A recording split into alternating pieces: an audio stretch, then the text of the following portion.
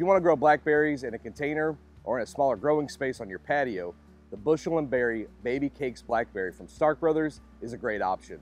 This dwarf blackberry plant is thornless, self-pollinating, and easy to grow in containers. The ever-bearing canes on this plant will produce berries on the floricanes in July, while the primocanes will fruit late September until frost. The Bushel and Berry Baby Cakes Blackberry plant comes potted and ships to you. Get yours today at starkbros.com.